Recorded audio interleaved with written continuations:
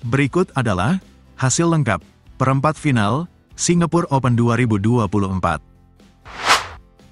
Di perempat final ganda putra, Fajar Alfian, Muhammad Rian Ardianto, berhasil mengalahkan pasangan peringkat dua dunia, Liang Weikeng, Wang Chang, dengan skor 21-17 dan 21-9 dalam durasi 32 menit.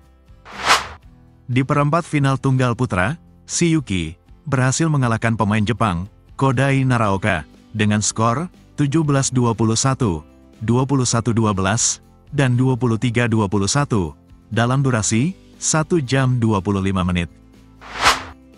Di perempat final tunggal putri, Gregoria Mariska Tunjung berhasil mengalahkan pemain China, Wang Ziyi, dengan skor 21-13, 13-21, dan 24-22, dalam durasi 1 jam 13 menit. Chen Yufei berhasil mengalahkan pemain Jepang, Akane Yamaguchi, dengan skor 21-8 dan 21-12 dalam durasi 29 menit.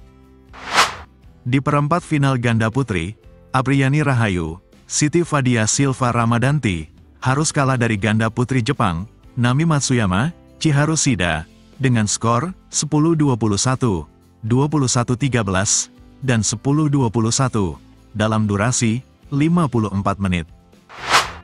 Liu Shengsu, Tan Ning, berhasil mengalahkan sesama wakil China, Li Wenmei, Liu Xuanxuan, dengan skor 21.19 dan 21.18 dalam durasi 39 menit.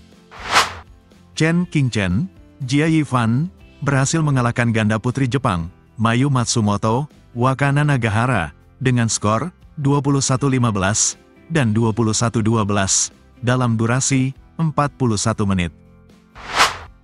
Teresa Jolie, Gayatri Gopihen Pullela, berhasil mengalahkan ganda putri Korea, Kim Soyoung, Kong Hyong, dengan skor 18-21, 21-19, dan 24-22, dalam durasi 1 jam 19 menit. Di perempat final ganda campuran, Seo Seng Jae, Chai Yujung, berhasil mengalahkan ganda campuran Malaysia, Chen Tang Jie, To Wei, dengan dua game, 21-14, dan 21-18, dalam durasi 41 menit. Dan Zheng Siwei, Huang Yaqiong, berhasil mengalahkan sesama pasangan China, Jiang Zhenbang, Wei Yaxin, dengan skor 21-14 dan 22-20 dalam durasi 40 menit. Di pertandingan lainnya, An Seyong berhasil menang dari pemain Jepang, Nozomi Okuhara, dengan skor 21-12 dan 21-12. He Jiting, Ren Xiangyu, berhasil mengalahkan ganda putra Malaysia, Go Sefei, Nur Izudin, dengan skor 21-16, 9-21, dan 21-17.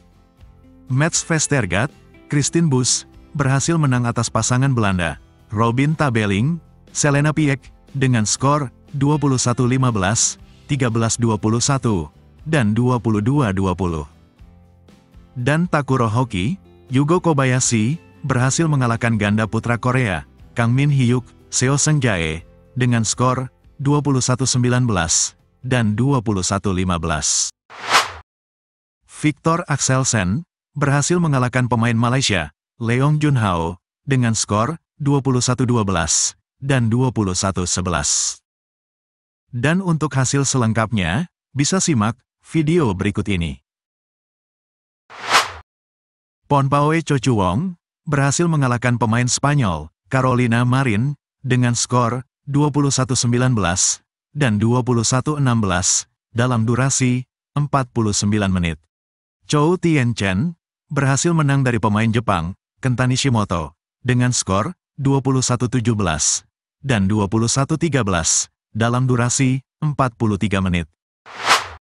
Dan Yang Po Hesuan, Hu Lingfang, berhasil mengalahkan sesama ganda campuran Chinese Taipei, Ye Hongwei, Li Chiasin, dengan skor 21-17 dan 21-17.